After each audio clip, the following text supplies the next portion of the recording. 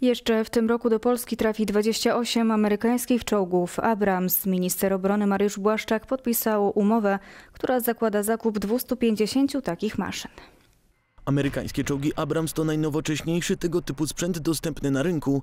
Były używane podczas wojny z państwem islamskim w Afganistanie i Iraku oraz w czasie wojny domowej w Jemenie. Teraz trafią do Polski, poinformował minister obrony narodowej Mariusz Błaszczak. Podpisana została umowa, która gwarantuje dostawę 250 czołgów Abrams w najnowszej wersji, dostawę czołgów e, dla Wojska Polskiego. Oprócz nowoczesnych czołgów do Polski trafi też dodatkowy sprzęt, zestawy do niszczenia ładunków wybuchowych, wozy techniczne, specjalne mosty, karabiny, turbiny gazowe, amunicja, a także elektronika i części zapasowe z zestawami remontowymi. Terytorium Polski jest stworzone dla takiego sprzętu, wskazuje były szef wojsk aeromobilnych generał brygady Dariusz Wroński. Ma zdolność do pokonywania brodów, e, przeszkód wodnych, nawet bez mała, prawie że 2 metry głębokości. E, To czyni, że mm, e, teren Polski jest dla niego e, dobrym e, i nie jest trudny do pokonania. Łączny koszt umowy podpisanej dziś z Amerykanami to prawie 5 miliardów dolarów. Same czołgi to wydatek rzędu 23 miliardów dolarów.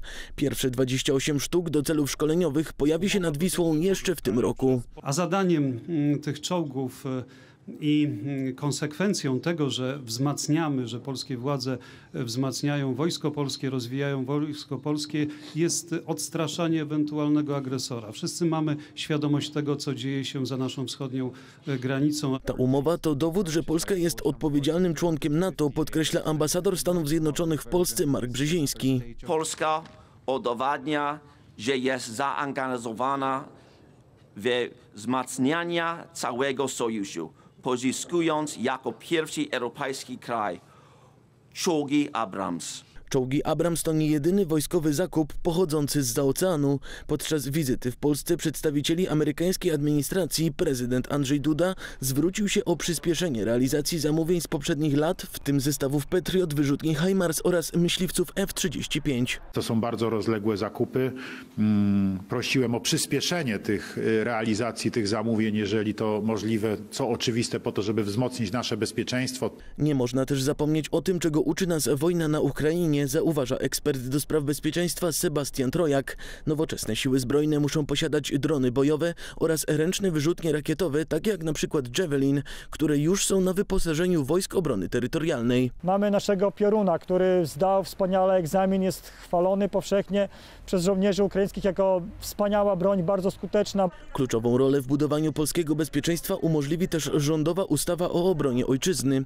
Projekt podpisany już przez prezydenta zakłada radykalną rozbudowę naszej armii w zakresie wielkości, wyszkolenia i uzbrojenia, mówi były żołnierz, a obecnie szef Sejmowej Komisji Obrony Sprawa i Sprawiedliwości Michał Jach. Za kilka lat będziemy mieli taką zdolność odstraszania, nie tylko potencjału militarnego, ale e, zdolność odstraszania, że Putin czy ewentualny jego następca nie trzy razy, ale siedem razy się zastanowi, zanim e, podejmie jakąkolwiek decyzję, e, decyzję mającą e, zaburzyć bezpieczeństwo naszych granic. Ustawa wejdzie w życie 1 lipca.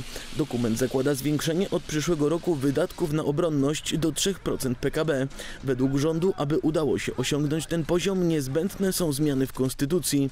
Rada Ministrów proponuje, aby wydatki na obronność zostały wyłączone spod reguły określającej wysokość zadłużenia publicznego, które zgodnie z Konstytucją nie może przekroczyć 60% PKB. Ten projekt zostanie tak, jak obiecywaliśmy, przedstawiony na posiedzeniu Sejmu, czyli on powinien jutro być już e, złożony. Wskazuje rzecznik rządu Piotr Miller.